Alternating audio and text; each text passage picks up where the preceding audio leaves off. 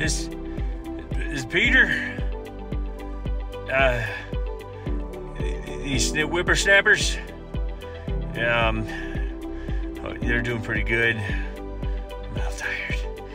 This phone is actually heavy right now. I made it. Uh, yeah. So uh, that's what I'm telling myself anyway. Okay. Hopefully I'll make it home.